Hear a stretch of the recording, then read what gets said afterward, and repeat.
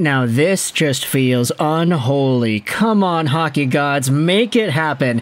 Do you see the irony there in me requesting the hockey gods to grant us this wish that stems from the unholiest of minds? And I love that word. It's such a great descriptor and quite a powerful adjective, I feel, because this idea is probably the craziest, most out there idea we have ever talked about when it comes to the free agent signings of 2024.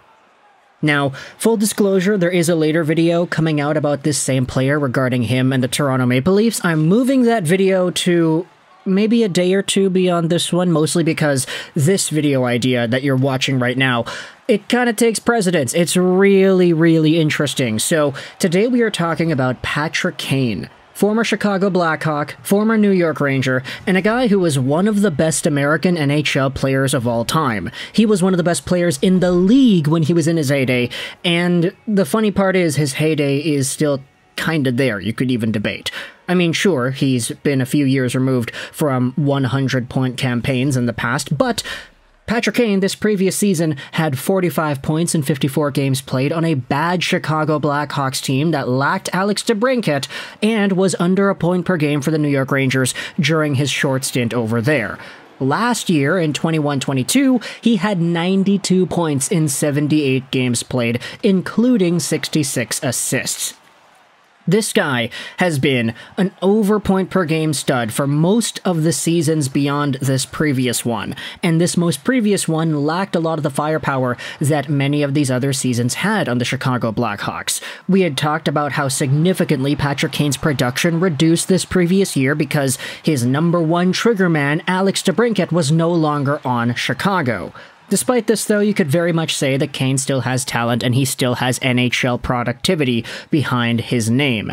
It's just a matter of time as to when he's going to sign and where he's going to sign to. That's the other big question everybody's wondering as we're going to talk about in the video tomorrow, or in two days, something like that, talking about Auston Matthews and the Maple Leafs, Patrick Kane, essentially, is on his way to a quicker recovery than we had thought possible. He had surgery, he's rebounding, he's feeling good, and when it comes to Kane himself, he had made some comments earlier in the media, pretty much saying that he feels like he is probably in the best shape he's been in in a while. Which, if you think about it, I mean, that's kind of nuts when you acknowledge that Patrick Kane was already a sub point per game player in this most recent season of play, despite playing on a terrible Chicago Blackhawks team. But as to where he could go next, this is where things get even crazier. Kane is 34 years old, and he is an expired UFA, so he just has the reins to choose wherever it is that he wants to go to. And we had ourselves this tweet made by John Dietz that really illuminates where that decision making process could lead him. Take a look at this initial tweet made by Bleacher Report Open Ice. Kane's recovery appears to be going faster than expected. It has a picture of Kane and it has a quote from him saying, Yeah, could I come back early? Probably. It's a lot better than I was last year. Patrick Kane says on his recovery from hip surgery. This tweet was quoted by John Dietz, who writes for the Daily Herald. He covers the Blackhawks, the Bears, the Cubs, and a lot of golf. He is a Chicago sports journalist. Take a look at this tweet he made after as to where Kane's next team could be. Watch for Patrick Kane to sign with the Detroit Red Wings. Someone who knows Kane very well said that Patrick Kane told him Kane wanted to follow DeBrincat if and when he was able to. Of course, there has to be mutual interest, so we'll see if Detroit extends an olive branch. And with this idea in mind, you kinda have to start thinking wait a minute. Patrick Kane wants to go where DeBrincat is, and DeBrincat had signed a somewhat long-term deal with the Detroit Red Wings. Alex DeBrincat, if you go over to his contract situation, $7.8 million AAV extension till the end of 2027. Meaning that if Kane really wants to get this done and he wants to play with DeBrincat one more time before his career is over, it kind of has to be in Detroit, right? I mean, DeBrincat on the books till the end of 2027. By the time that year rolls around, Patrick Kane is going to be what? 38? He's going to be old. And there's going to be a very small window for both of these guys to become free agents and sign at the same team at the same time elsewhere down the line. So, for now, based off of this information that Kane would like to play with DeBrincat once more, does that not very well mean that Detroit is Patrick Kane's number one destination at the moment? That right there almost feels like treason to even talk about. It feels like Pavel Datsyuk on the Chicago Blackhawks. It feels like Zetterberg on the Blackhawks. It's like if you made a trade with Jimmy Howard and Corey Crawford 10 years ago. Things have certainly changed from the time the Red Wings were battling it out with the Hawks in playoff series, and you had the Marian Hossa thing all those years ago was pretty wild, but nowadays, the Blackhawks and the Red Wings have both been pretty bad teams in the past few seasons. Not the best. Of course, we know Detroit has been a bit better, but there was that period in 2019 20 ish where they were terrible. So, in a way, you could say that window of burning hatred for either team is not really there anymore.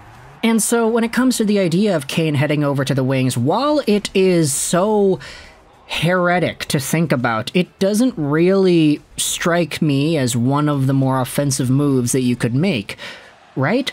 Like, this doesn't feel like prime 100 point Patrick Kane on Detroit feeding passes to, I don't know, Johan Franzen or Damien Brunner. It doesn't really feel like that. It just kind of feels like a guy who wants to play with his buddy. And you already recognize that from the angle of Detroit fans, everybody loved it when Cat came to Detroit and signed the extension. That was a pretty big deal. Nobody was going out there and disagreeing with that. Hey, a good young top goal scorer wants to come to Detroit. He's from here. It's a hometown story that we've been looking forward to the past few years.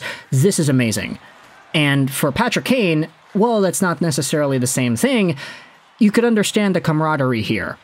Kane played some of the best years of his hockey playing career with DeBrincat as the triggerman to all his passes, and so, in order to ignite that same fire, bringing Patrick Kane onto Detroit does not sound like the worst idea in the world. And I feel like, from the perspective of Blackhawks fans, sure, y'all were kind of sad to lose out on Patrick Kane and Toews left your team. It's a changing era in Chicago. But if you were to have the opportunity to watch Kane and DeBrincat tear it up again, sure, on a rival team this time, it's not like many of y'all will say no, I feel. Like, I think a lot of Chicago fans recognize just how good Kane and DeBrincat were together, that if they were to ignite that sort of magic in Detroit, it wouldn't be something they would not want to see. Like, sure, it'd be weird, but it's not like this is an undesired situation, right? I don't know. It really depends here on Stevie Y and the Red Wings because if they themselves have the opportunity to extend a hand, an olive branch, as the tweet said, to Patrick Kane and say, hey, we heard you want to come here. You want to play with DeBrincat again. We've got a middle six spot for you and a top spot in the power play. Just sign us with a cheap deal and we'll get you on your way. That feels like the best case scenario here. The video we're making later tomorrow talks about Kane and the Maple Leafs signing on a short term very minimal, cheap deal, and seeing if Patrick Kane could revive his career, get himself a bigger role and a bigger point production pace, and as a result, get a higher payday next year when the cap is expected to go up a little bit more. And you could honestly say similar things with this Detroit idea, especially if he wants to go to Detroit specifically, if he himself is saying that he wants to play with DeBrincat. If you wanted to brainstorm what a power play unit could look like, sure, you'd have Larkin there in the middle, you'd have probably DeBrincat on one side and Kane on the other, maybe Seider on the point or Gostisbehere if you want, and then I don't know, you need another forward there, maybe an Lucas Raymond or something? I don't know. There are a lot of options as to where the Red Wings could go with their power play structure should they bring in a guy with the versatility of Patrick Kane and his playmaking too. Like, that sounds crazy, but of course, it's just a hypothetical idea being tossed around there. Apparently, he wants to come to Detroit, he wants to play with DeBrincat. We'll see what happens as free agency goes on, and when Patrick Kane decides to sign. He appears to be recovering faster than we had expected, so maybe that signature comes a little bit sooner than we thought too. But for now, let me know your thoughts in the comment section below. How do you feel about the idea of Patrick Kane heading over to the Detroit Red Wings because he wants to be reunited with Alex DeBrincat? If you're a Chicago Blackhawks fan, how does this make you feel as well? Does this kind of tickle your nerves a little bit, or does it tickle your funny bone instead? Would you rather see this happen or not happen? Especially if it's on a rival team like Detroit. Let me know your thoughts in the comment section below. I hope you enjoyed this video. 99 and bye.